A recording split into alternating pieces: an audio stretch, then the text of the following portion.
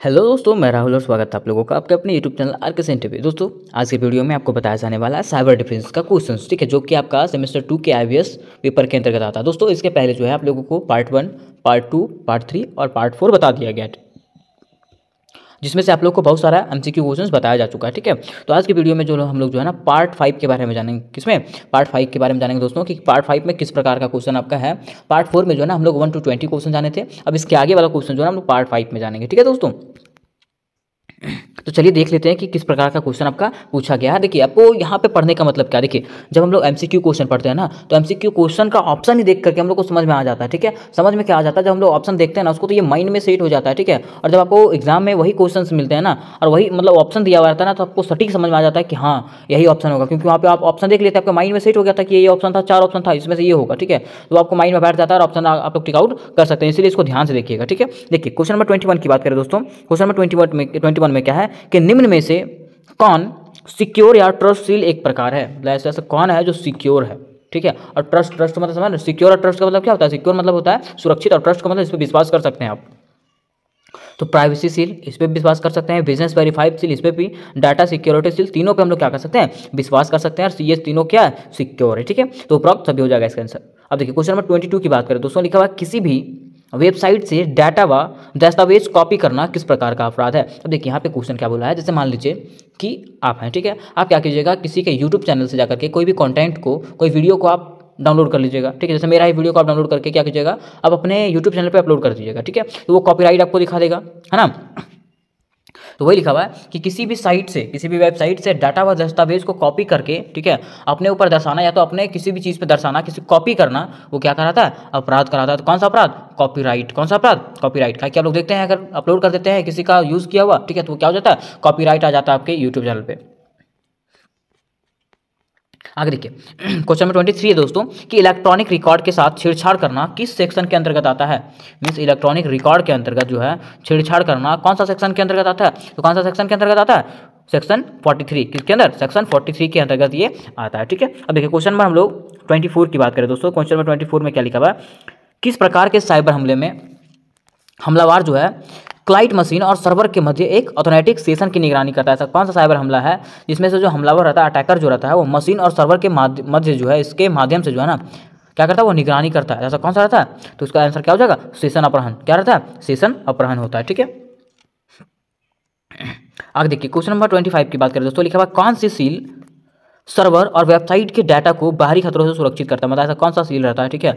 जो सर्वर और वेबसाइटों के डाटा को क्या करता है? बाहरी खतरों से सुरक्षित करता है। तो कौन सा रहता है? तो इसका हो जाएगा क्या? सुरक्षाशील। ठीक है क्या क्या हो जाएगा? सुरक्षाशील इसका राइट आंसर हो जाएगा, ठीक है? आगे बात करें दोस्तों क्वेश्चन नंबर ट्वेंटी सिक्स की, लिखा हुआ है कि भारतीय दंड संहिता की कौन सी धारा विश्वासघात के अपराध को वर्णित करती है? मतलब भारतीय दंड संहिता में ऐसा कौन सा धारा है, ठीक है? जो विश्वासघात के अपराध को वर्णित करता है। तो कौन सा धारा है ये? फोर हंड्रेड सिक्स हो जाएगा, ठीक है? चार सौ छः जो है धारा होता है, ये क्या? विश्वासघात का अपराध को वर्णित करता है, ठीक है? आगे क्वेश्चन नंबर ट्वेंटी सेवन की बात करें दोस्तों, लिखा हुआ किसी प्रकार के हमले में डीएनएस प्रक्रिया में छेड़छाड़ की जाती है। मतलब ऐसा कौन सा प्रकार का हमला है जिसमें से डीएनएस प्रक्रिया में छेड़छाड़ किया जाता है, ठीक है? जिससे ट्रैफ़िक को किसी अवैध वेबसाइट पर प्रेषित कर दिया जाता है, ठीक है? तो ऐसा कौन सा है? जिसका क्या हो जाएगा? डीएनएस पॉइजनिंग क्या होता है? डीएनएस पॉइजनिंग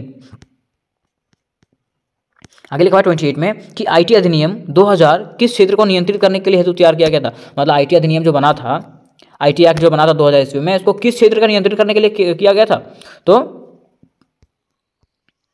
इसको जो इसको जो है ना सूचना प्रौद्योगिकी के लिए बनाया गया था, ठीक है? उसको, ताकि उसको नियंत्रित किया जा सके, ठीक है? अब क्वेश्चन नंबर ट्वेंटी नाइन की बात करें, लिखा हुआ है, एक सिक्योर या ट्रस्ट सील के संदर्भ में कौन सा कथन सत्य है? कथन आपको देखना है कि कौन सा सत्य है। सिक्योर मतलब आप जानते हैं सुरक्षित ट्रस्ट मतलब जानते हैं विश्वास करने वाला ठीक है? तो इसको पढ़ के आप समझ सकते हैं कि क्या हो जाएगा आपका आंसर ठीक है? देखिए इसका आंसर वैसे आपका होगा क्या? और प्रॉक सभी ये चारों में से चारों होगा तीनों का तीनों चारों होगा ठीक है?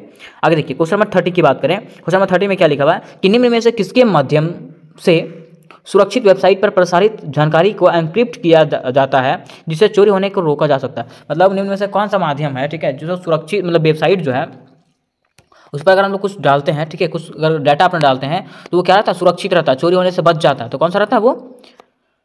वेरीसाइन और थॉविट ठीक है, ये दो रहता है, ठीक है इसका आंसर क्या हो जाएगा? और बा दोनों हो जाएगा, ठीक है। देखिए क्वेश्चन नंबर थर्टी वन की बात करें, लिखा हुआ है, आपके द्वारा विज़िट की गई वेबसाइटों का रिकॉर्ड रखता है मतलब आपके द्वारा विज़िट की गई जो वेबसाइट जैसे मान लीजिए आप अपना फ़ोन आपका, ठीक है, आप अपना फ़ोन में क्या क्या चालू किए हैं क्या क्या खोले हैं कौन सा कौन सा वेबसाइट खोले हैं, इसका रिकॉर्ड कौन रखता है? तो कौन रखता है इसका रिकॉर्ड वेब ब्राउज़र रखता है। कौन रखता है दोस्तों? वेब ब्राउज़र, इसका रिकॉर्ड रखता है कि आप दिन भर में क्या क्या देखें।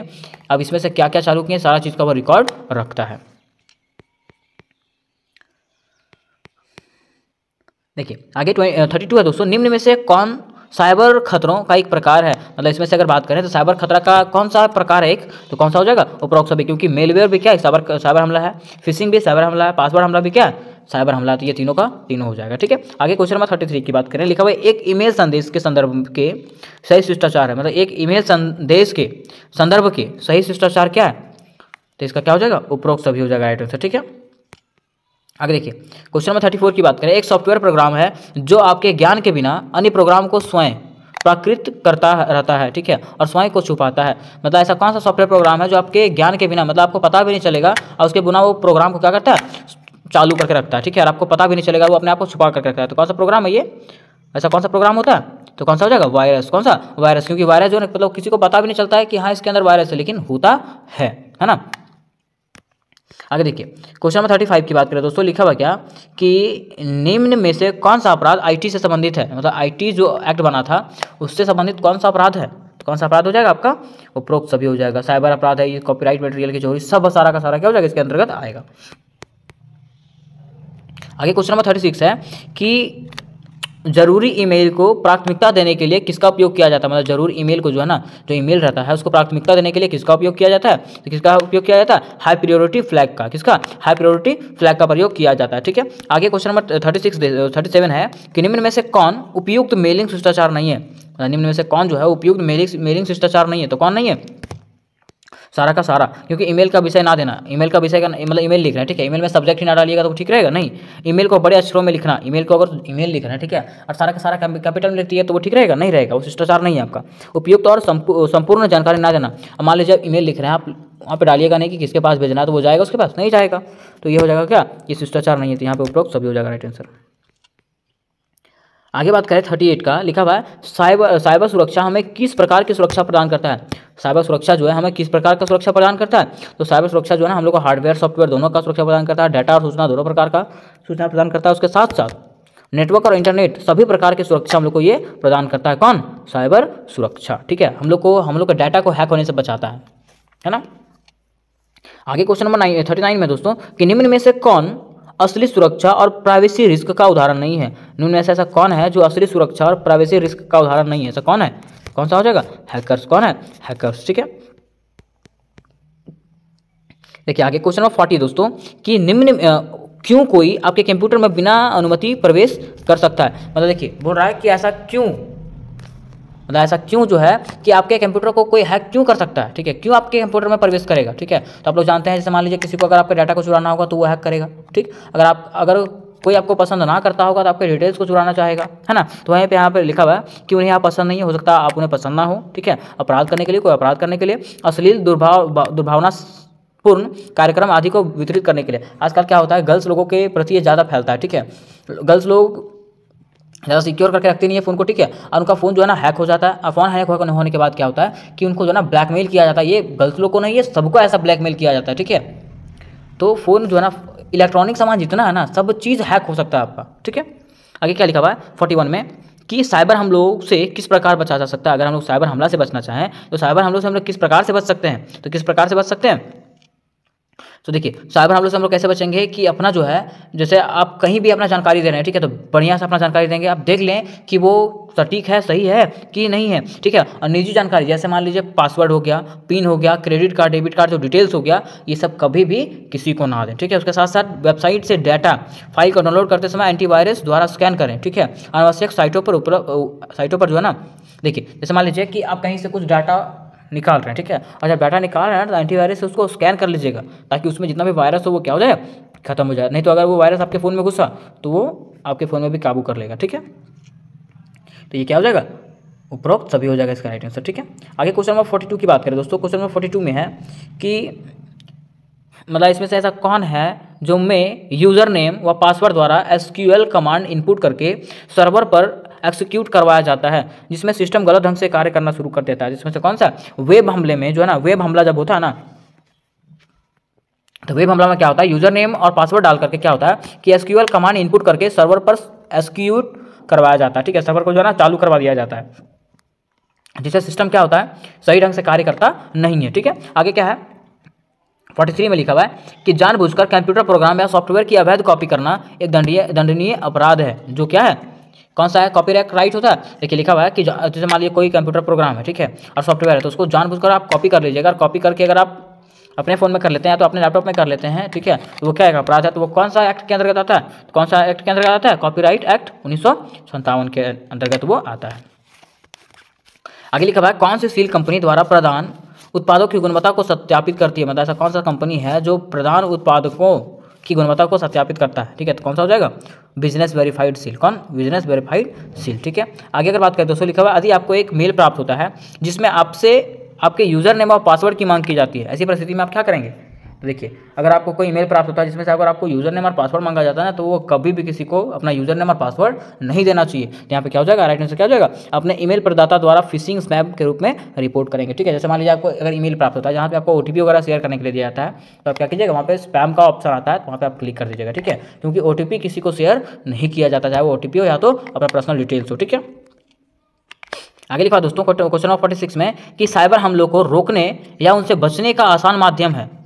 उनसे आसान माध्यम क्या है? तो उपरोक्त सभी मतलब जैसे मान लीजिए आपका कंप्यूटर है, ठीक है? तो कंप्यूटर में क्या कीजिए आप एंटीवायरस डाल के रखिए। एंटीवायरस डाल के रखिएगा तो वो, उनका ये हिम्मत ही काम नहीं करेगा कि आपके फ़ोन को, आपके लैपटॉप को क्या करे, वो हैक कर ले, ठीक है? ईमेल अटैचमेंट स्टोरेज मीडिया को स्कैन करे। मतलब जो भी ईमेल वगैरह आएगा, जो भी आपका लैपटॉप में कुछ भी चीज़ आएगा, आपके फ़ोन में या तो कंप्यूटर में, उसको क्या करें? स्कैन करें एंटीवायरस से, ठीक है? देखा किसी अनजान सोर्स की ईमेल लिंक ना खोलें। जैसे मान लीजिए कोई अनजान साइट से आपको कुछ आया ईमेल, ठीक है? ईमेल आया, उसमें कोई लिंक दिया हुआ, ठीक है? तो वो लिंक पे जो है ना, कभी भी क्लिक ना करें जब तक उसको आप नहीं जानते होंगे, ठीक है? आई तो ये क्या हो जाएगा? चारों का चारों, इसका राइट आंसर हो जाएगा, ठीक है? आगे अगर बात करें फोर्टी सेवन का लिखा हुआ, निम्न में से किसे मेलिंग शिष्टाचार के रूप में माना जाता है? तो मेलिंग शिष्टाचार के रूप में किसको माना जाता है? तो किसको माना जाता है? संक्षिप्त और उचित विषय को। किसको? संक्षिप्त और उचित विषय को, ठीक है? आगे दोस्तों, एक सुरक्षित वेबसाइट की पहचान है। मतलब ये एक ऐसा, इसमें कौन सा सुरक्षित वेबसाइट है ये? तो इसमें से क्या हो जाएगा? पैडलॉक और एच जो है ना एचटीटीपीएस क्या है? आपका एक सुरक्षित वेबसाइट है, ठीक है? तो और बात दोनों आपका राइट आंसर हो जाएगा, ठीक है? अगर बात करें फोर्टी नाइन की लिखा हुआ है, निम्न में से कौन सा अंतर्राष्ट्रीय सुरक्षा मापदंड सूचना प्रबंधन प्रणाली की स्थापना कार्यान्वय संचालन, समीक्षा और सुरक्षा के लिए एक मॉडल प्रदान करता है? मतलब ऐसा कौन सा अंतर्राष्ट्रीय सुरक्षा मापदंड है, ठीक है? जो क्या करता है? किसी भी कार्य को उसका सुरक्षा के लिए, ठीक है? और उसका संचालन के लिए मॉडल तैयार करता है, ठीक है? तो कौन सा होता है? तो I S O two seven zero zero one. ठीक है, ये आपका संस्था अंतर्राष्ट्रीय सुरक्षा संस्था, ठीक है? देखिए क्वेश्चन नंबर लास्ट जो आपका है, कि लिखा हुआ फिफ्टी में कि इलेक्ट्रॉनिक रूप में अश्लीलता फैलाना इलेक्ट्रॉनिक रूप में क्या करना? अश्लीलता को फैलाना, जानकारी छुपाना किस जानकारी छुपाना किस धारा में आता है? मतलब मान लीजिए इलेक्ट्रॉनिक रूप से अश्लीलता फैलाना मतलब कोई, जैसे मान लीजिए, कहीं आप कोई साइट है, ठीक है, जैसे यूट्यूब है फेसबुक है, ठीक है इसमें आप अश्लीलता फैला रहे हैं तो वो किस धारा के अंतर्गत आता है? किस धारा के अंतर्गत आता है वो? सिक्सटी सेवन धारा के अंतर्गत वो आता है। एक क्वेश्चन और इसमें दोस्तों, लिखा हुआ एक कंप्यूटर वायरस जो पहचान को रोकने के लिए, रोकने के प्रयास में क्या करता है? एंटीवायरस प्रोग्राम पर सक्रिय रूप से हमला करता है। मतलब क्या एक, कौन सा कंप्यूटर वायरस है, ठीक है? जो क्या करता है? अपने पहचान को छिपाने के लिए एंटीवायरस प्रोग्राम पर क्या करता है? हमला करता है। जैसा कौन सा रहता है? कौन सा वायरस रहता है? तो रेट्रो वायरस रहता है। कौन सा रहता है दोस्तों? रेट्रो वायरस यहाँ पे जो है आपको, आज जो है ट्वेंटी वन से लेकर के फिफ्टी टू तक क्वेश्चन करवा दिए गए, ठीक है? तो इसी तरह से जो आपको आगे और क्वेश्चन करवा दिए जाएँगे, ठीक है? तो उम्मीद करते हैं कि आप लोग को बढ़िया से समझ में आया होगा। तो मिलता है नेक्स्ट वीडियो में, तब तक के लिए जय हिंद, जय भारत।